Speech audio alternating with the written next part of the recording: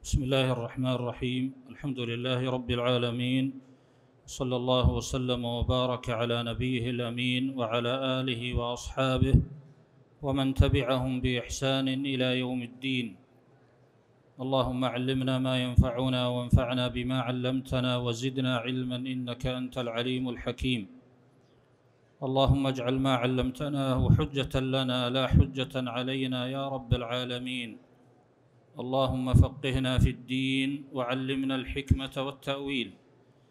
قال صلى الله عليه وسلم إنما الأعمال بالنيات وإنما لكل امرئ ما نوى.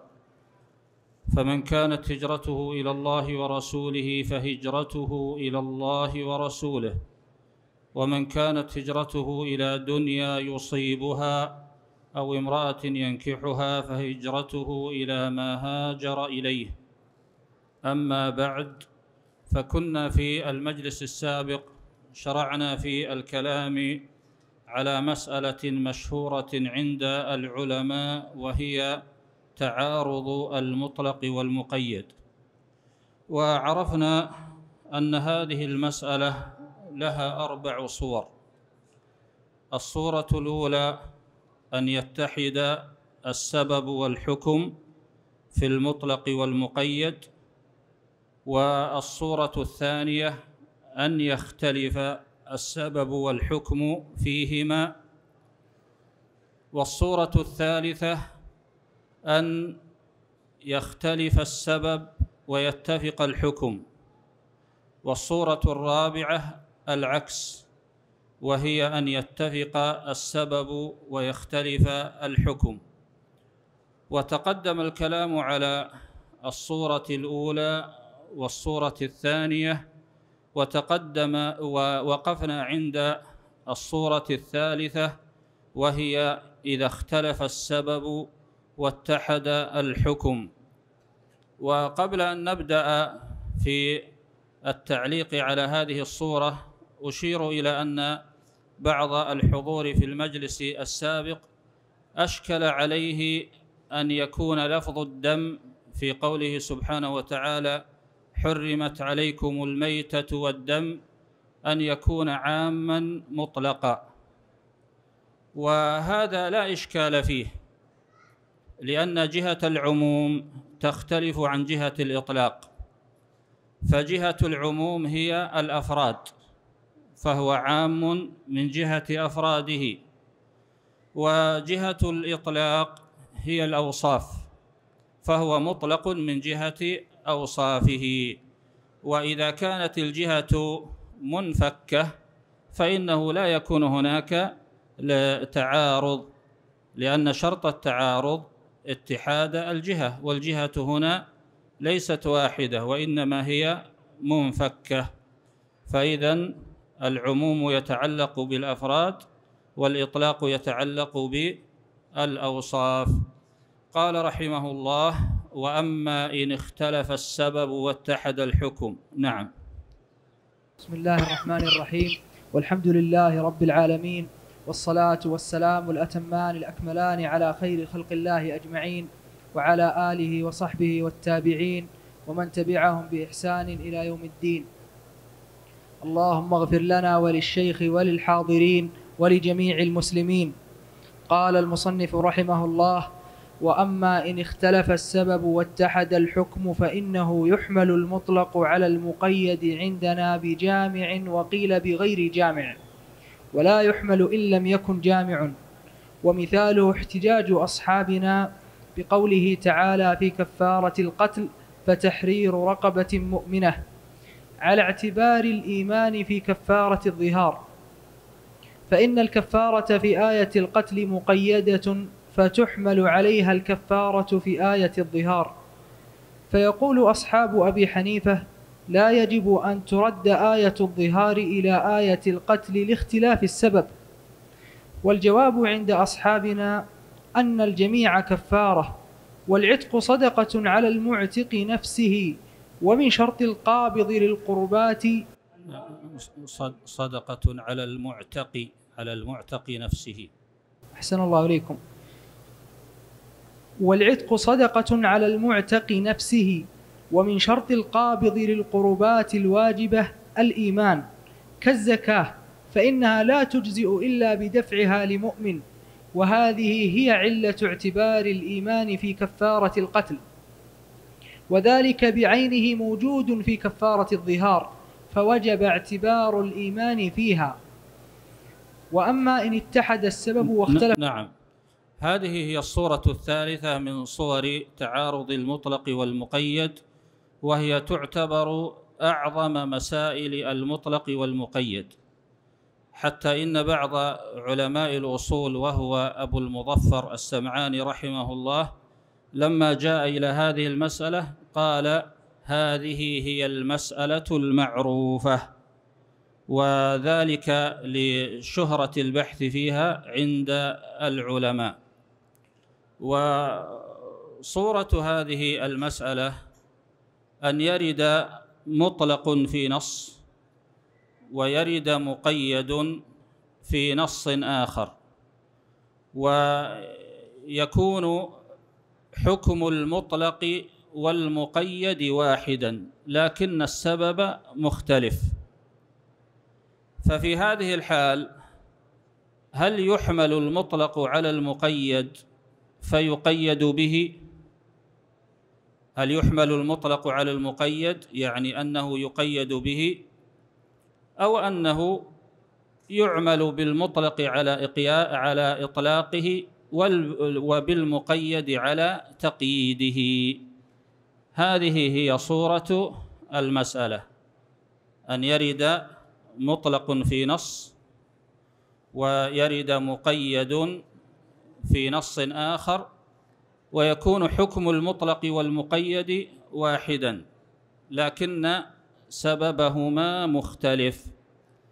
فهل يحمل المطلق على المقيد؟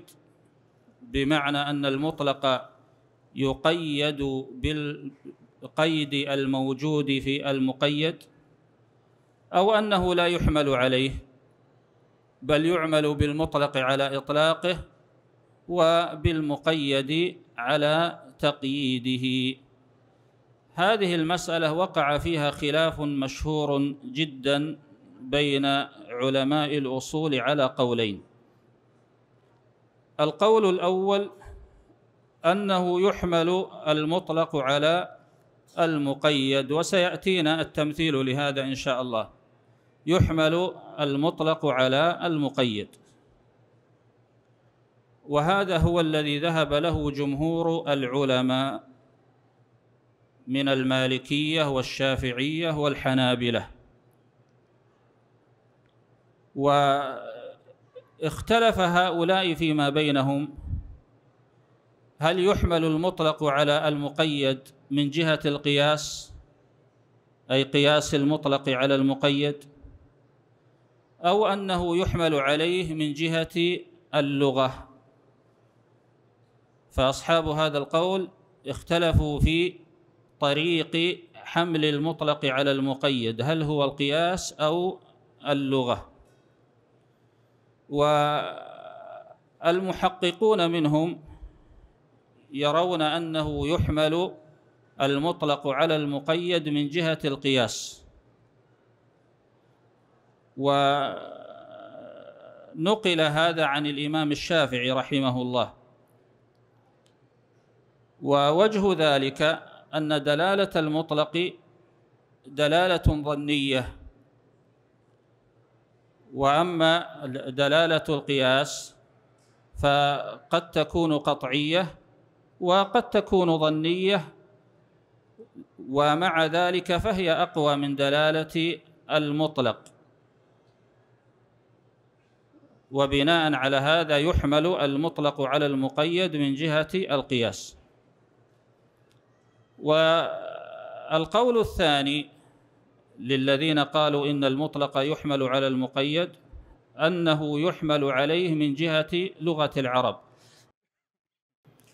لأن العرب يطلقون اللفظ أحيانا في موضع ويقيدونه في موضع آخر. ومن ذلك قول الشاعر نحن بما عندنا وأنت بما عندك راض والرأي مختلف. نحن بما عندنا وأنت بما عندك. راض والرأي مختلف. والتقدير ها نحن بما عندنا راضون. وأنت بما عندك راض والرأي مختلف. فالعرب يطلقون في مكان ويقيدون في مكان آخر. هذا هو القول الأول وهو مذهب جمهور الأصوليين. القول الثاني أن المطلق يبقى على إطلاقه وأن المقيد يبقى على تقييده.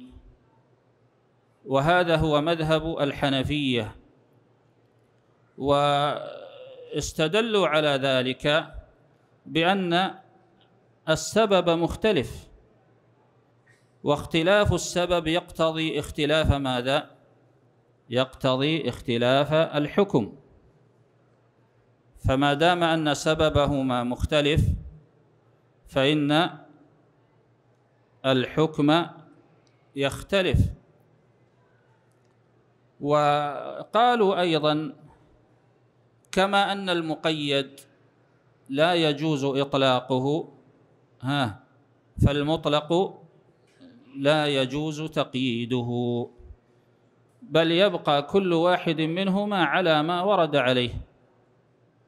فالمطلق يعمل به على الجهة التي وردت آه، التي ورد عليها والمقيد يعمل به على الصفة التي ورد عليها.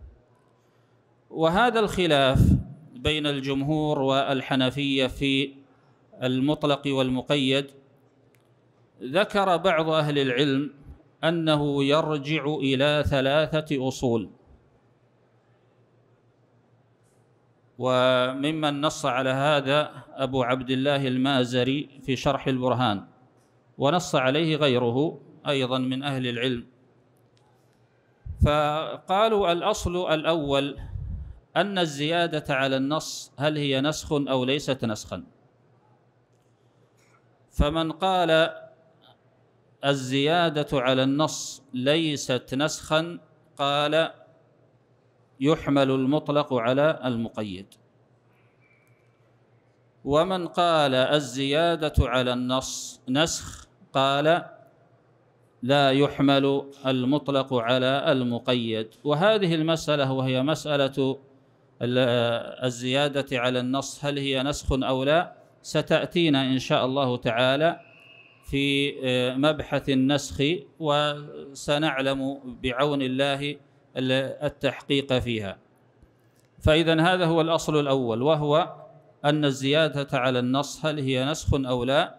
من قال آه، ليست نسخا قال يحمل المطلق على المقيد. ومن قال هي نسخ قال لا يحمل المطلق على المقيد.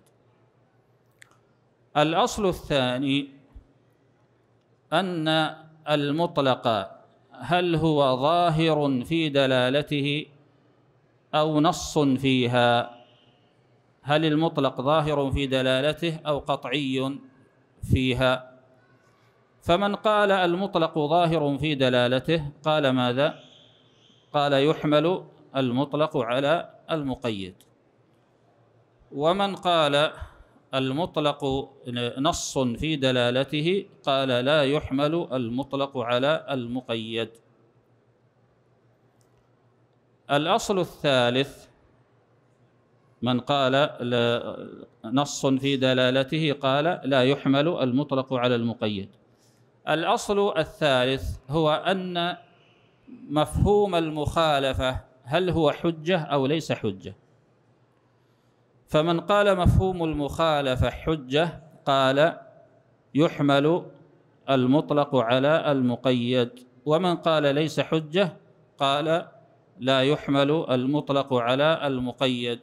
وأنتم تلحظون أن هذه الأصول الثلاثة الخلاف فيها بين من ومن؟ بين الجمهور والحنفية. فقال المازري وغيره الخلاف في مسألة تعارض المطلق والمقيد ينزع إلى هذه إلى الخلاف في هذه الأصول الثلاثة. يقول المصنف رحمه الله وأما إن اختلف السبب واتحد الحكم فإنه يحمل المطلق على المقيد عندنا أي معاشر المالكية. وفاقا لمن؟ وفاقا للشافعية والحنابلة. بجامع يعني بالقياس. وقيل بغير جامع يعني باللغة. ولا يحمل إن لم يكن جامع يعني لا يحمل المطلق على المقيد إن لم يكن جامع. وهذا تفسير لقوله فيما تقدم بجامع. والمحققون كما عرفنا أنهم يقولون يحمل بجامع. ولهذا المصنف رحمه الله قدمه وعبر عن الآخر بقوله وقيل.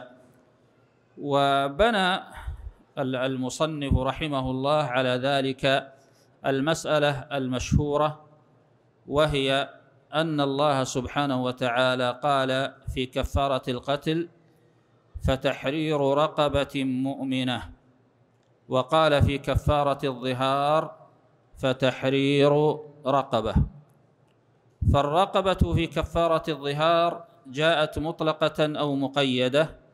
نعم جاءت مطلقة. لأنه قال تحرير رقبة ولم يقيد هذه الرقبة بكونها مؤمنة ولا بكونها كافرة. وأما الرقبة في كفارة القتل فجاءت مقيدة بوصف الإيمان في قوله فتحرير رقبة مؤمنة. فهل يحمل المطلق على المقيد؟ بمعنى أن تحمل الرقبة في كفارة الظهار على الرقبة المقيدة بالإيمان في كفارة القتل وبناء على هذا فإنه يشترط الإيمان أيضا في كفارة الظهار في الرقبة كما يشترط في آه، كفارة القتل. أو أنها أو أن المطلق لا يحمل على المقيد وبناء على هذا فكفارة الظهار يجوز عتق أي رقبة سواء أكانت مؤمنة أم كانت كافرة. بخلاف كفارة القتل فلا بد أن تكون الرقبة مؤمنة. وقع الخلاف بين العلماء في هذه المسألة الفقهية بناء على اختلافهم في هذا الأصل. فالجمهور الذين يرون أنه يحمل المطلق على المقيد قالوا كفارة الظهار لا بد في, في الرقبة فيها أن تكون مؤمنة. وبناء على هذا لو أنه آه، ظاهر من امرأته وأراد آه، أن يمسها فإنه آه، يجب عليه أن يكفر قبل العود فلو أنه كفر برقبة كافرة قيمتها مئة ألف هل تجزئه؟ لا تجزئه عند الجمهور لأن الرقبة يشترط فيها الإيمان. وعند الحنفية تجزئه أو لا تجزئه؟ تجزئه. ولو أنه أعتق عند الجمهور رقبة مؤمنة قيمتها ألف ريال. فهل تجزئه أو لا تجزئه؟ تجزئه. طيب هذه قيمتها الألف والأولى قيمتها مئة ألف. ما الذي جعل الأولى لا تجزئ والثانية تجزئ مع أن الأولى أغلى ثمنا؟ الجواب على ذلك هذا الأصل. فإن الجمهور قالوا يشترط في الرقبة أن تكون مؤمنة. فإذا أعتق رقبة كافرة أو أعتق مئة رقبة كافرة فإنها لا تجزئه. يقول رحمه الله ومثاله احتجاج أصحابنا يعني وفاقا لجمهور العلماء بقوله تعالى في كفارة القتل فتحرير رقبة مؤمنة على اعتبار الإيمان في كفارة الظهار يعني على اشتراطه. فإن الكفارة في آية القتل مقيدة يعني بالإيمان فتحمل عليها الكفارة في آية الظهار يعني وتقيد الرقبة في كفارة الظهار بالإيمان. خلافا للحنفية وقد عرفنا رأيهم ودليلهم على ذلك.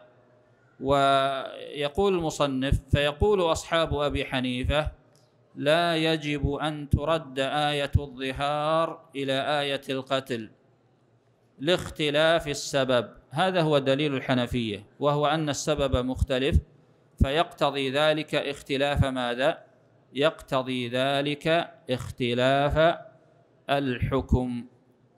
وذكر المصنف رحمه الله جواب الجمهور عن دليل الحنفية وهذا الجواب يحتاج إلى شيء من الانتباه. يقول رحمه الله والجواب عند أصحابنا يعني عن قول الحنفية. أن الجميع كفارة. أن الجميع ما مقصوده بالجميع؟ كفارة القتل وكفارة الظهار. أن الجميع كفارة. والعتق يعني للرقبة صدقة على المعتق نفسه يعني صدقة من المعتق على المعتق نفسه. ومن شرط القابض للقربات الواجبة الإيمان. يعني القاعدة في الشرع أن القابض للقربات يشترط فيه أن يكون مؤمنا كالزكاة يعني نظير الزكاة. فإنها يشترط في القابض لها الإيمان. قال فإنها لا تجزئ إلا بدفعها لمؤمن. قال وهذه هي علة اعتبار الإيمان في كفارة القتل. هذه الإشارة هنا إلى أي شيء؟ إلى أن العتق صدقة من المعتق على المعتق. وهذه هي علة اعتبار الإيمان في كفارة القتل. وذلك يعني وهذه العلة موجودة في كفارة الظهار فوجب اعتبار الإيمان فيها. واضح هذا الجواب أو ليس واضحا؟ فإذا خلاصة هذا الجواب أنه يقول كفارة الظهار وكفارة القتل يشتركان في أن كل منهما كفارة.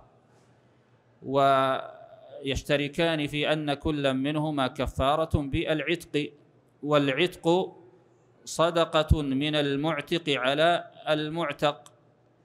فالمعتق هنا قابل للصدقة ومن شرط القابض للصدقة أن يكون مؤمنا كالزكاة فإنه يشترط أن يكون القابض فيها مؤمنا وهذه العلة وهي الإيمان كما أنها موجودة في كفارة القتل موجودة أيضا في كفارة الظهار. وإذا اشترك شيئان في العلة فإنهما يشتركان في أي شيء فإنهما يشتركان في الحكم. وبناء على هذا فإنه يشترط الإيمان في كفارة الظهار كما يشترط في كفارة القتل. يقول والجواب عند أصحابنا أي المالكية أن الجميع كفارة يعني أن كفارة القتل وكفارة الظهار يشتركان في أن كل منهما كفارة بالعتق. والعتق صدقة يعني صدقة من المعتق على المعتق نفسه. ومن شرط القابض للقربات أي هذه القاعدة الشرعية من شرط القابض للقربات الواجبة الإيمان كالزكاة. فإنها لا تجزئ إلا بدفعها لمؤمن وهذه هي علة اعتبار الإيمان في كفارة القتل. هذه هي الإشارة هنا إلى أي شيء؟ نعم أن العتق صدقة من المعتق على المعتق وإذا كان كذلك فإنه يشترط أن يكون المعتق مؤمنا لأن هذه هي القاعدة في الشريعة في القابض للقربات الواجبة. وهذه هي علة اعتبار الإيمان في كفارة القتل. وذلك بعينه موجود في كفارة الظهار فوجب اعتبار الإيمان. وقوله هذه علة هذا فيه إشارة إلى أن حمل المطلق على المقيد من طريق القياس أو من طريق لغة العرب أنه من طريق القياس كما ذهب له المحققون من الجمهور الذين ذهبوا إلى أنه يحمل المطلق على المقيد. هذا ما يتعلق بهذه الصورة المهمة وهي إذا تعارض المطلق والمقيد وكان السبب مختلفا والحكم واحدا. والمثال الذي ذكرناه السبب واحد أو مختلف. السبب مختلف. فكفارة القتل سببها ما هو؟ القتل الخطأ. وكفارة الظهار سببها ماذا؟ الظهار. ومع أن السبب مختلف إلا أن الحكم واحد وهو وجوب الكفارة. ولما انتهى من هذه الصورة انتقل للكلام على الصورة الأخيرة وهي الصورة الرابعة. فقال قال رحمه الله وأما إن اتحد السبب واختلف الحكم وهو عكس القسم الذي قبله فقد اختلف فقد اختلف أيضا في حمل المطلق على المقيد. ومثاله هل تجب مراعاة الأوسط في الكسوة أو لا؟ فيقول من أوجب ذلك لما قال الله تعالى في الإطعام في كفارة اليمين بالله من أوسط ما تطعمون أهليكم ثم قال أو كسوتهم. فأتى بالكسوة مطلقا وجب تقييدها بالأوسط فكأنه قال من أوسط ما تكسون أهليكم لأن السبب واحد. فيقال لا يجب رد المطلق إلى المقيد إلا عند تشابه الأحكام وتماثلها. وأما إذا اختلفت بالأنواع فلا. ألا ترى أنه قيد الصيام في كفارة الظهار بالتتابع؟ فقال تعالى فصيام شهرين متتابعين والتتابع لا يجب في إطعام ستين مسكينا إجماعا أي لا يجب أن يطعم بعضهم عقب بعض. وما ذاك إلا لاختلاف الأنواع. والجواب عند الأولين أن الأمور المختلفة يجوز اشتراكها في حكم واحد وإذا كان كذلك فلا عبرة بالتماثل ولا بالاختلاف وفي الكلام عليه بحث يخرج عن المقصود. نعم. رحمهم الله يعني بذلوا جهدا كبيرا في التدقيق في أصول الشريعة وفروعها والتفكر في دلالات نصوص القرآن والسنة.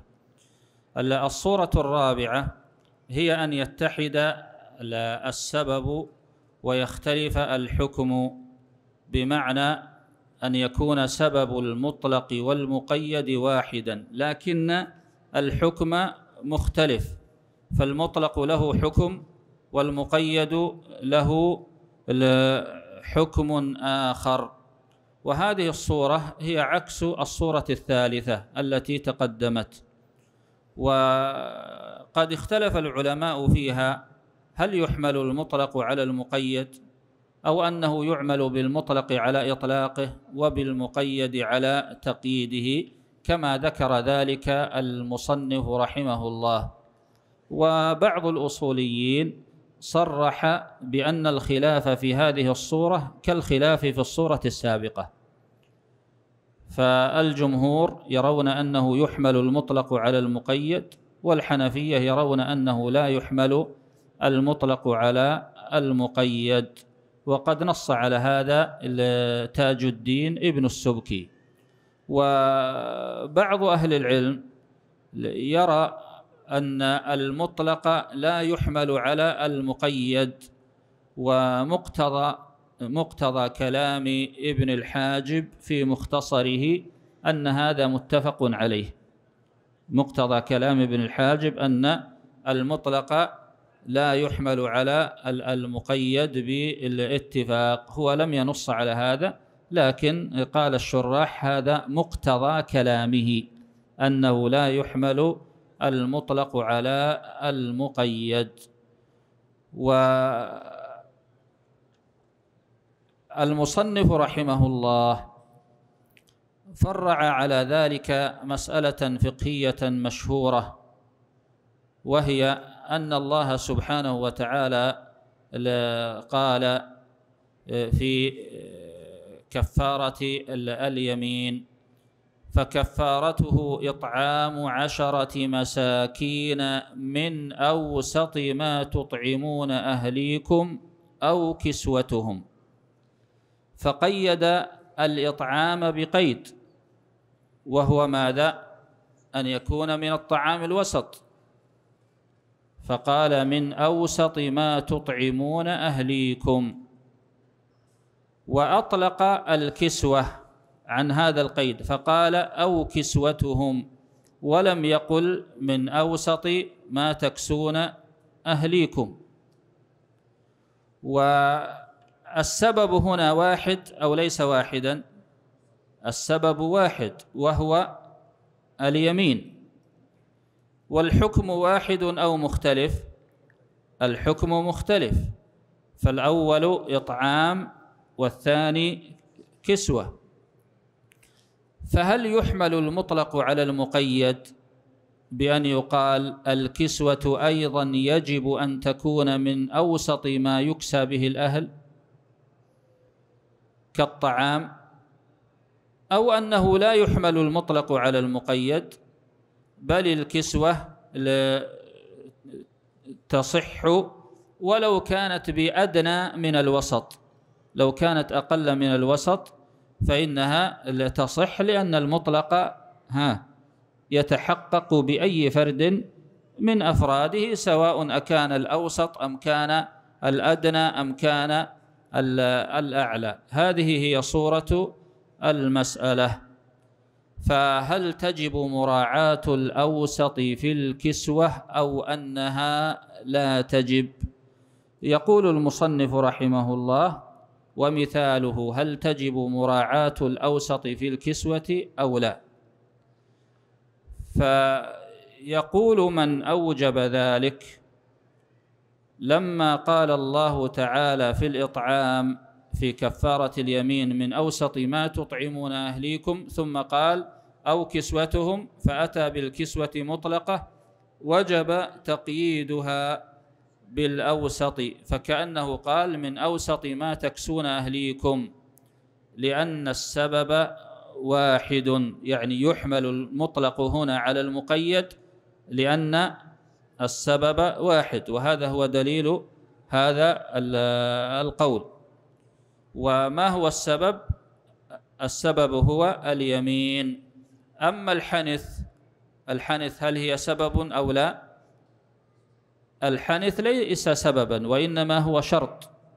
فسبب الكفارة اليمين وشرطها ما هو؟ الحنث. وبعض طلاب العلم قد يلتبس عليه هذا الأمر. فليس سبب كفارة اليمين الحنث الحنث شرط. وسبب كفارة اليمين هو اليمين نفسها.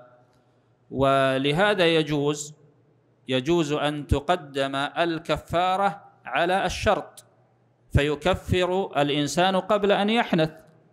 لكن هل يكفر قبل السبب قبل اليمين؟ لا لا يجوز.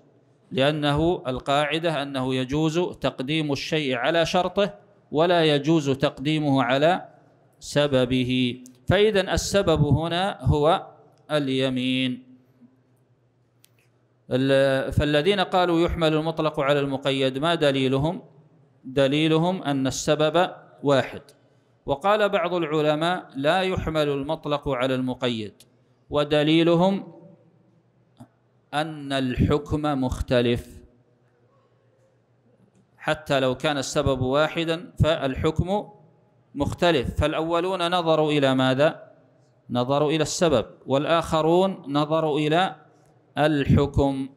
يقول فيقال يعني يقول من لا يوجب أن يكون أن تكون الكسوة من آه، أوسط ما يكسون به أهليهم. فيقال لا يجب رد المطلق إلى المقيد إلا عند تشابه الأحكام وتماثلها يعني كالعتق في كفارة القتل وكفارة الظهار. وأما إذا اختلفت الأنواع فلا يعني إذا اختلفت أنواع ماذا؟ أنواع الأحكام. أحسنت. إذا اختلفت الأنواع يعني اختلفت أنواع الأحكام.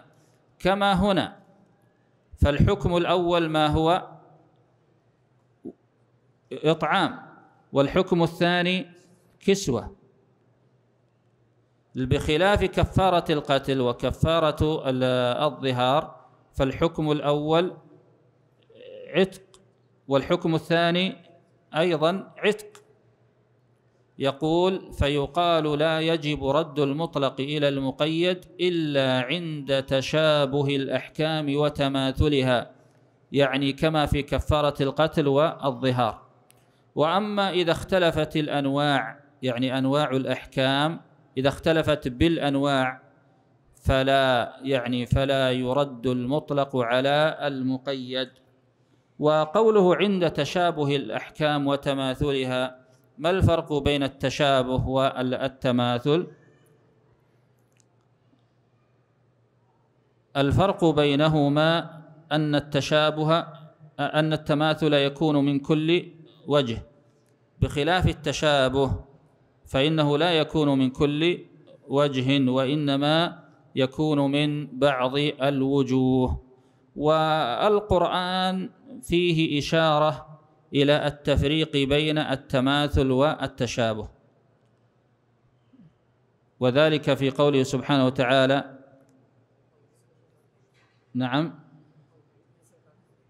تشابهت قل نعم مثل قولهم تشابهت قلوبهم. أحسنت في قوله سبحانه وتعالى وقال الذين لا يعلمون لولا يكلمنا الله أو تأتينا آية. كذلك قال الذين كذلك قال الذين لا يعلمون مثل قولهم تشابهت قلوبهم. فعبر بالمثلية وعبر بالتشابه فدل على أن بينهما فرقا.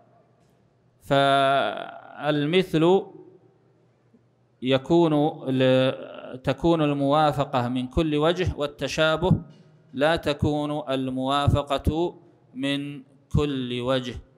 يقول وأما إذا اختلفت بالأنواع فلا. ألا ترى أنه قيد الصيام في كفارة الظهار بالتتابع؟ فقال فصيام شهرين. والتتابع لا يجب في إطعام ستين مسكينا إجماعا فأمر بالصيام وقيد بصيام شهرين وقيده بالتتابع وأمر بالإطعام ولم يقيده بالتتابع فلا يحمل المطلق على المقيد هنا باتفاق العلماء. والسبب في عدم حمل المطلق على المقيد ها أن الحكم مختلف. ولهذا قال أي لا يجب أن يطعم بعضهم عقب بعض وما ذلك إلا لاختلاف آه، الأنواع. يعني اختلاف أنواع آه، الأحكام. فالنوع الأول ما هو؟ صيام. والنوع الثاني إطعام. فلا يحمل المطلق على المقيد. وأصحاب القول الأول يجيبون عن هذا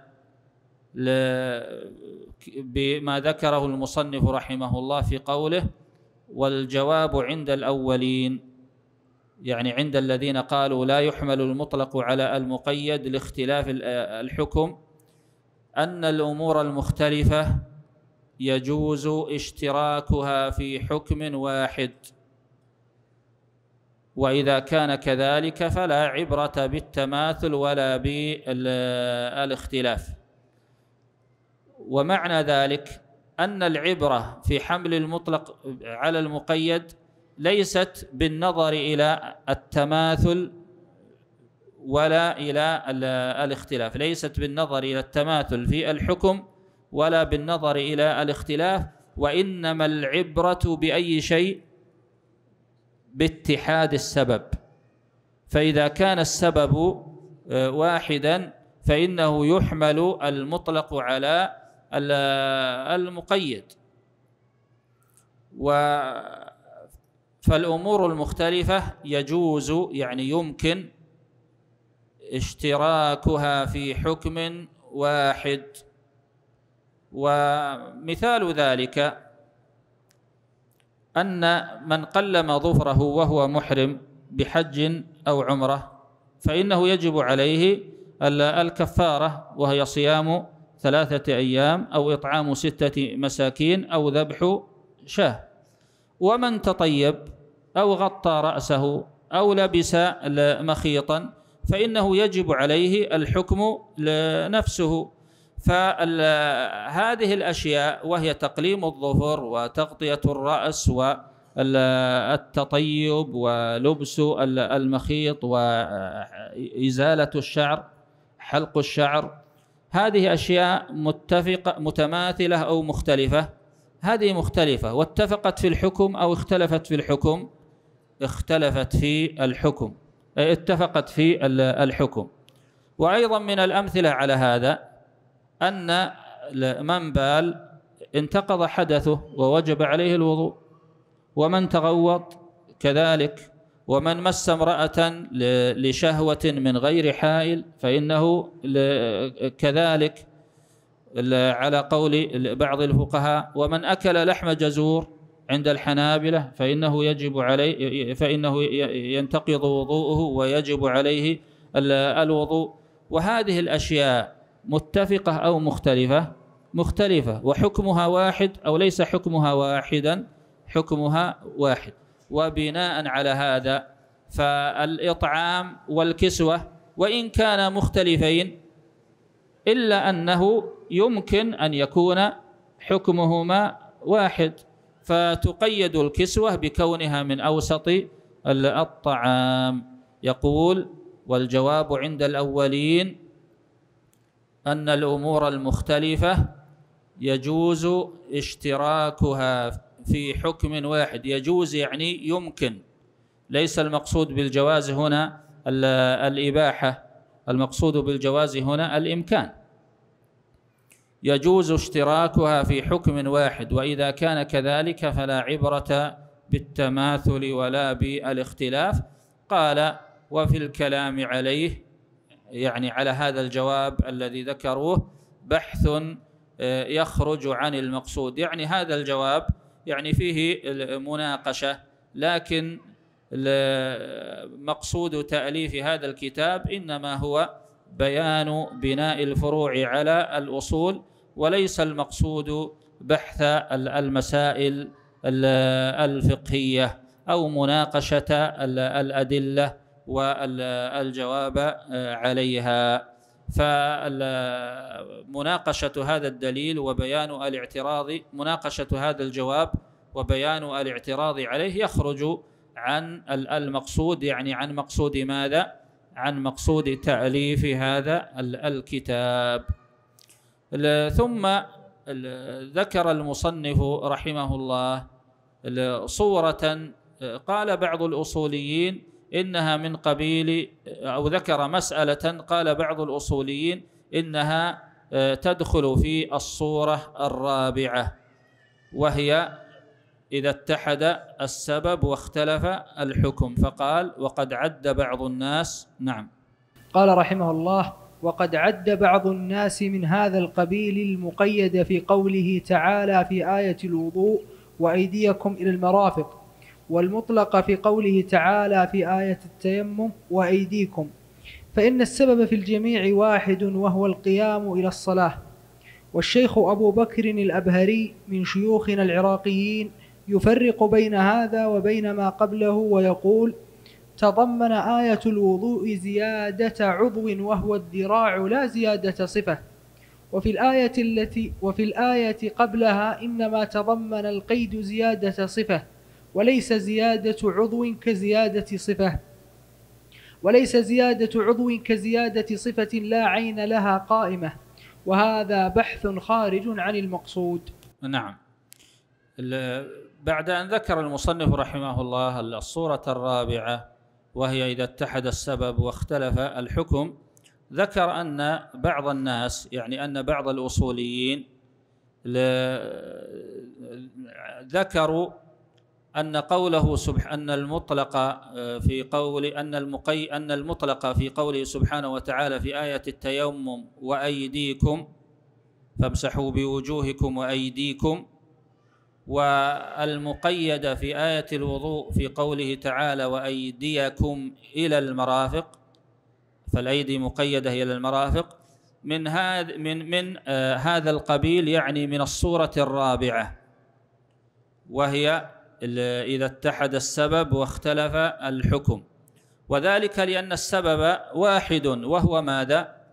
وهو الحدث وبناء على هذا فهل يحمل المطلق في قوله وأيديكم في التيمم على المقيد في قوله وأيديكم إلى المرافق فتمسح الأيدي في التيمم أيضا إلى المرافق أو أنه لا يحمل المطلق على المقيد.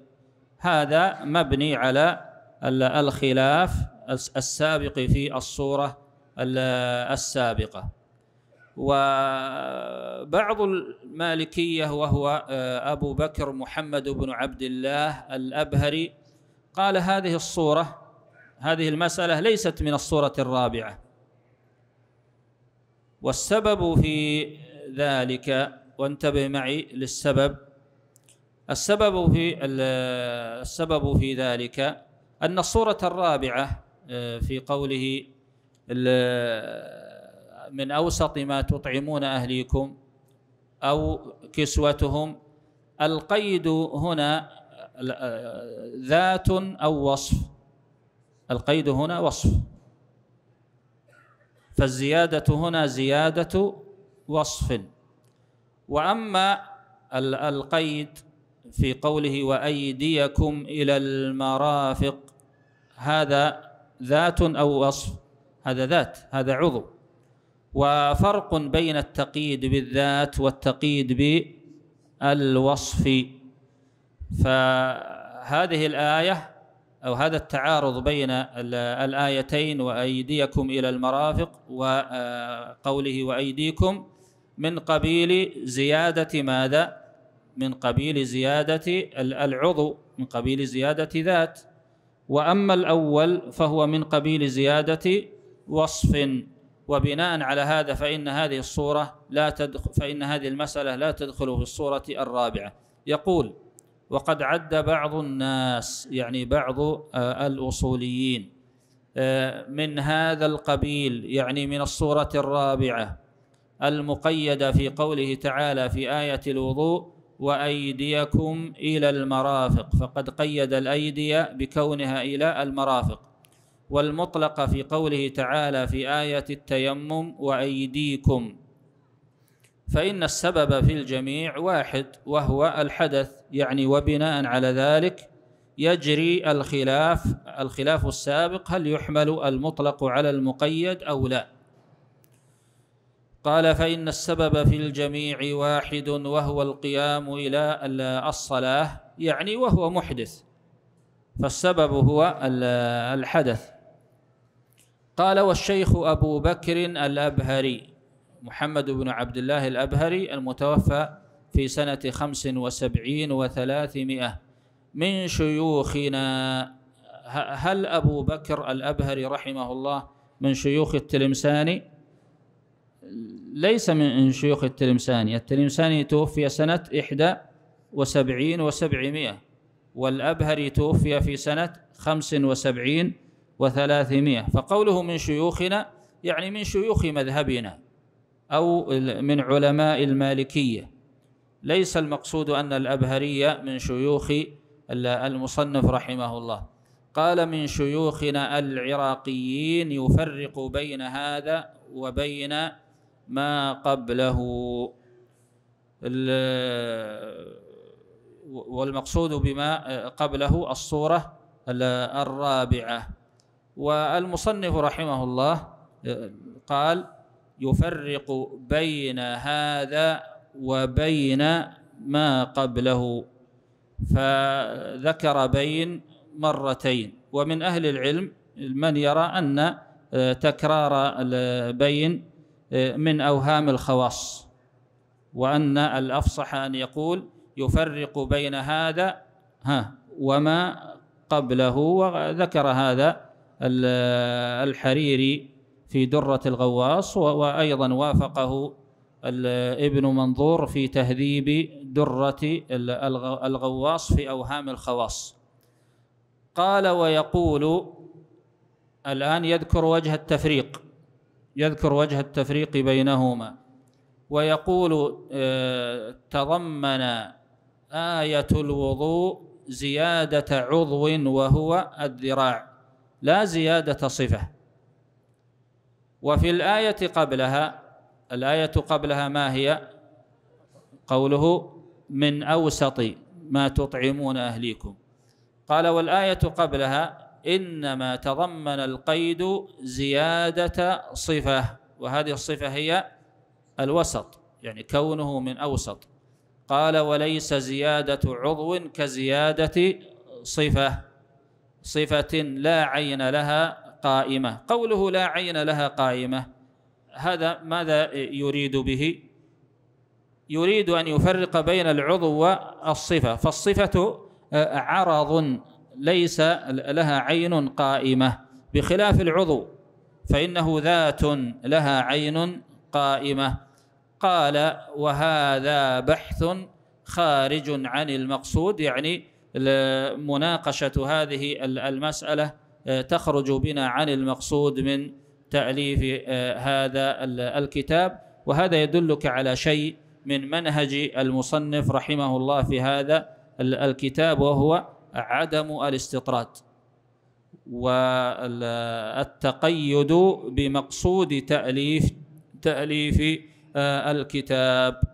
وتلحظ أن المصنف رحمه الله قال هنا هذا بحث وفي آه، ما قبله في الجواب السابق قال وفي الكلام عليه بحث. وهذه طريقة عند العلماء لأن العالم إذا لم يرتضي آه، مسألة ولا يتسع الوقت عنده لمناقشتها أو يرى أنها آه، ليست مقصود تأليفه يقول هذه المسألة فيها بحث أو يقول هذا فيه بحث. يعني فيه آه، مناقشة. حتى ينبه القارئ أن المذكور ليس مسلما من كل آه، وجه. وهذه طريقة موجودة عند العلماء. ثم ختم المطلق والمقيد بمسألة. كم بقي من الوقت؟ ها؟ عشر؟ طيب. قال رحمه الله ومما يبحث فيه أيضا أن يرد مطلق فيه حكم واحد على سبب واحد ثم يرد حكمان مرتبان على سببين. الحكم الأول أحد الحكمين والسبب الأول أحد السببين.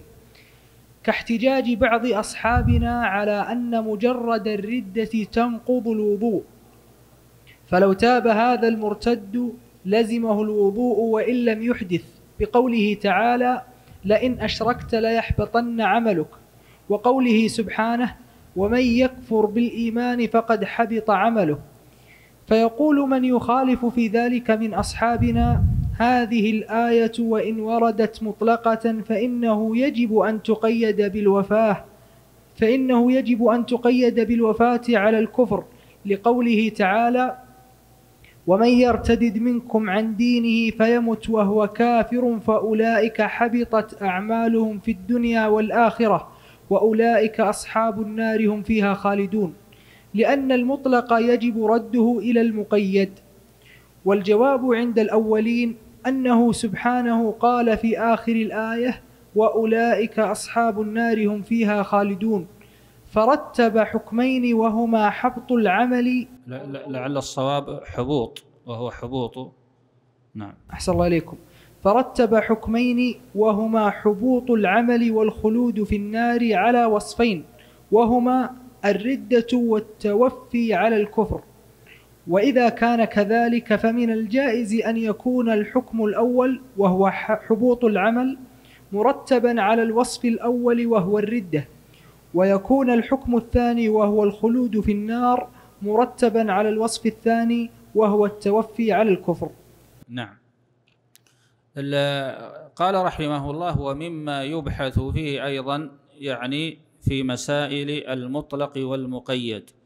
مسألة وهي أن يرد مطلق يعني أن يرد نص مطلق فيه حكم واحد على سبب واحد. ويرد أيضا نص آخر فيه حكمان مرتبان على سببين. الحكم الأول هو الحكم الوارد في النص السابق. والسبب الأول هو السبب الوارد في الحكم السابق. فهل يحمل المطلق على المقيد في هذه الحال أو أنه لا يحمل المطلق على المقيد؟ وسوف تتضح صورة المسألة إن شاء الله بالمثال. يقول ومما يبحث فيه أيضا يعني في المطلق والمقيد أن يرد مطلق يعني أن يرد نص مطلق فيه حكم واحد على سبب واحد يعني وارد على سبب واحد. فالنص الأول فيه حكم واحد فقط وهذا الحكم وارد على سبب واحد. ثم يرد يعني يرد نص آخر. آه، فيه قال ثم يرد حكمان يعني أن يرد نص آخر. فيه حكمان مرتبان على سببين فكل كل واحد من هذين الحكمين وارد على سبب. فالحكم الأول وارد على سبب والحكم الثاني وارد على سبب آخر. قال الحكم الأول أحد الحكمين. قوله الحكم الأول أحد الحكمين يعني الحكم الأول في النص الأول.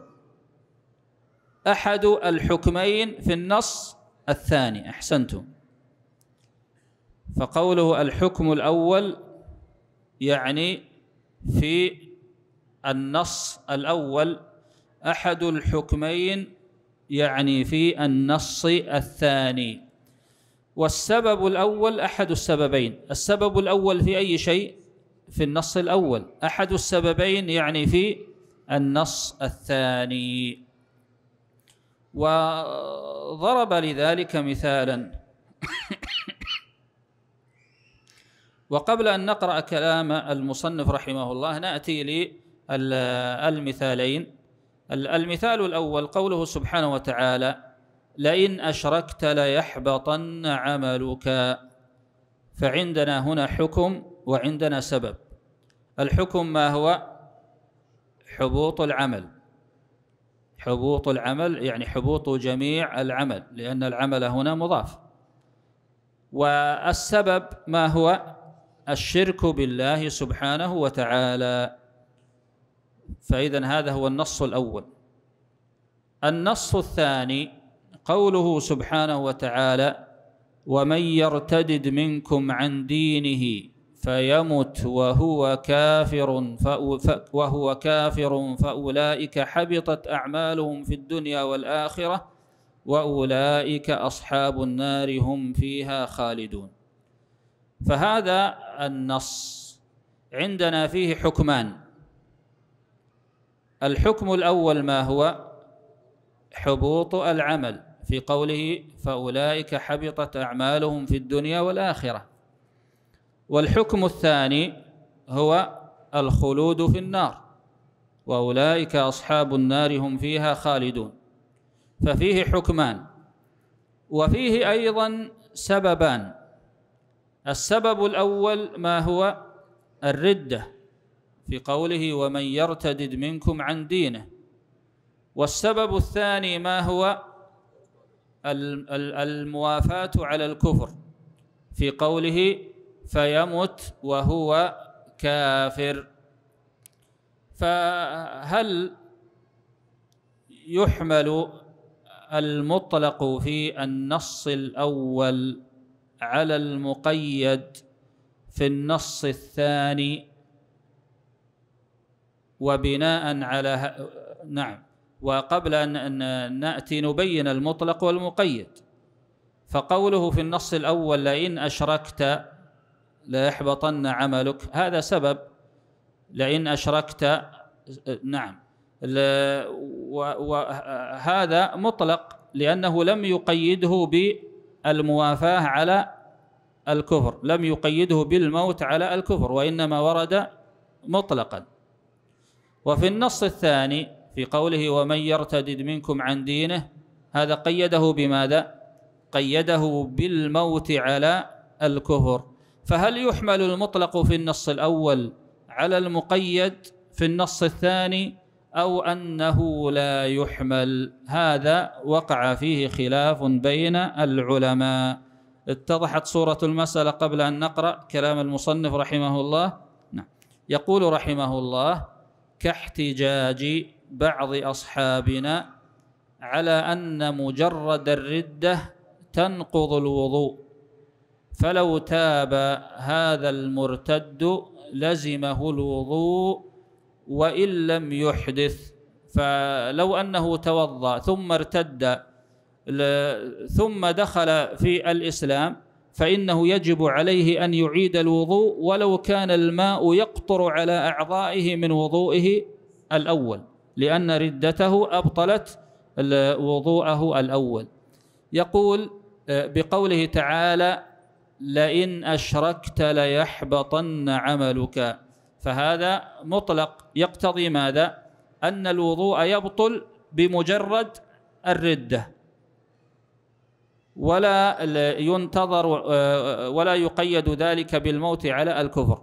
ومثله قوله سبحانه وتعالى ومن يكفر بالإيمان فقد حبط عمله فعندنا حكم وهو حبوط العمل وعندنا سبب وهو الكفر. فيحمل المطلق على فهنا هنا يعمل بالمطلق لا يحمل المطلق على المقيد يعمل بالمطلق لأن الآية وردت مطلقة غير مقيدة بالموافاة على الكفر.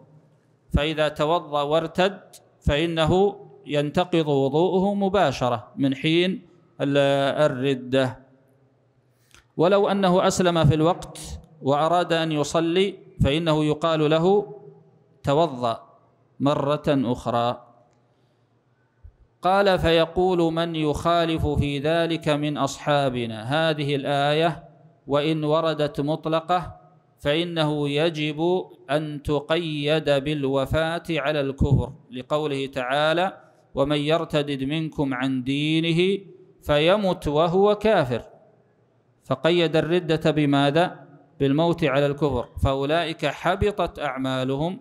هذا الحكم حبوط العمل في الدنيا والآخرة وأولئك أصحاب النار هم فيها خالدون لأن المطلق يجب رده إلى المقيد. قال والجواب عند الأولين أنه سبحانه قال في آخر الآية وأولئك أصحاب النار هم فيها خالدون. فرتب حكمين وهما حبوط العمل والخلود في النار على وصفين يعني على سببين وهما الردة والتوفي على الكفر. وإذا كان كذلك فمن الجائز يعني من المحتمل أن يكون الحكم الأول أن يكون الحكم الأول في الآية الأولى وفي الآية الثانية وهو ماذا؟ حبوط العمل وهو حبوط العمل مرتبا على الوصف الأول وهو الردة على السبب الأول وهو الردة ويكون الحكم الثاني وهو الخلود في النار مرتبا على الوصف الثاني وهو التوفي على الكفر.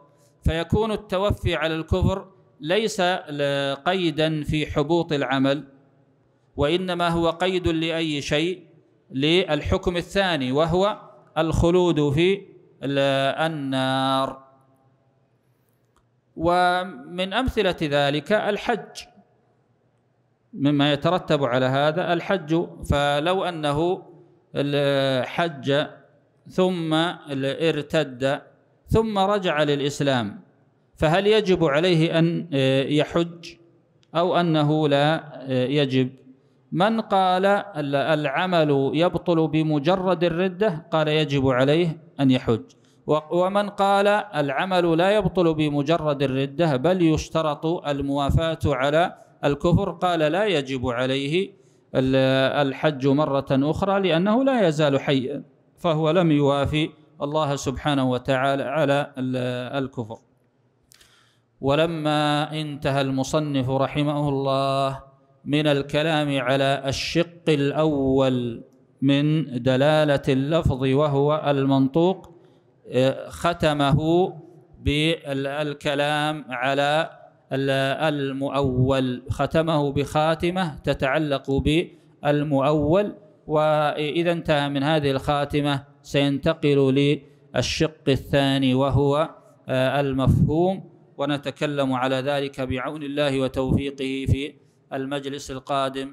وأسأل الله عز وجل لي ولكم العلم النافع والعمل الصالح. والله أعلم وصلى الله وسلم على نبينا محمد وعلى آله وأصحابه أجمعين. كل شيء في الحرم المكي يدعو للشوق ومن ذلك دروس الحرم العلمية وكراسي العلماء. فماذا لو قربنا لك هذه المجالس لتعيش في رحابها وأنت في بيتك؟ على قناة التوجيه والإرشاد الرقمي ومنصات التواصل الاجتماعي.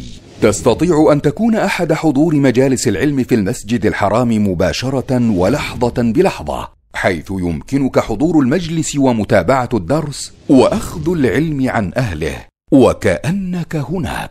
للمتابعة اشترك الآن.